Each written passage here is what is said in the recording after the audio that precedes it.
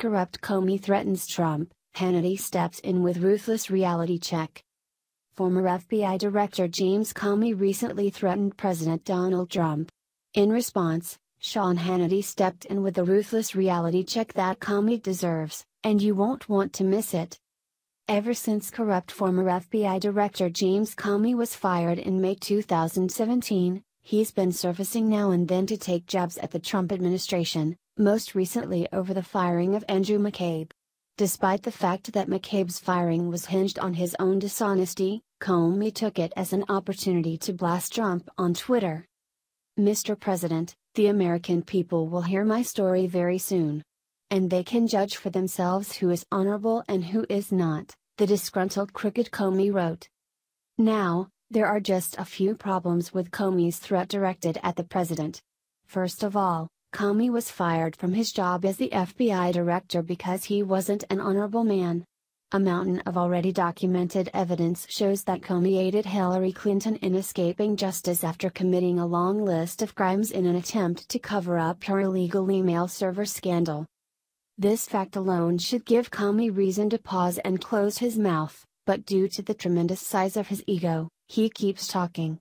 His recent threat on Twitter for Trump will only further complicate matters.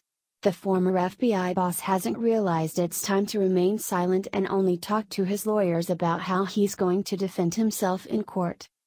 Comey's second problem was pointed out by Sean Hannity during a recent interview on Fox and Friends.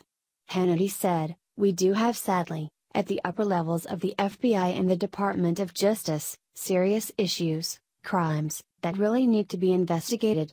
Not the least of which, you know, James Comey very arrogantly, this weekend, he tweeted out, Soon the American people will see from me Mr. President and they'll get to decide.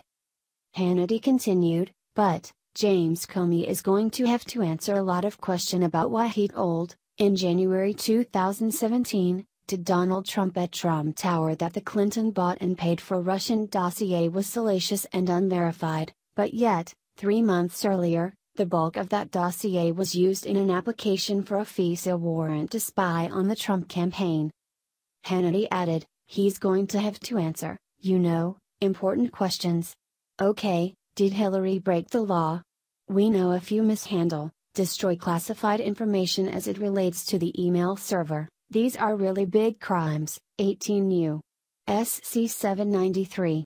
Hillary not only put it on a mom and pop shop bathroom server in a closet, but we also know that Hillary then deleted subpoenaed emails, 33,000, then she acid washed the hard drives.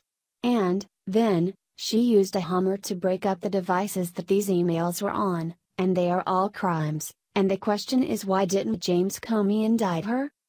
Based on this brief clip from Fox and Friends, James Comey should really not be issuing idle threats to our president over social media.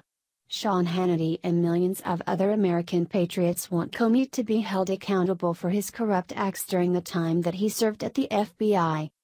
In addition, other deep state operatives such as Andrew McCabe, Peter Strzok, and Lisa Page should be prosecuted for their roles in the corruption uncovered by the Department of Justice Inspector General Michael Horowitz. Justice must be served to not only James Comey but all other former and present federal officials who conspired with him.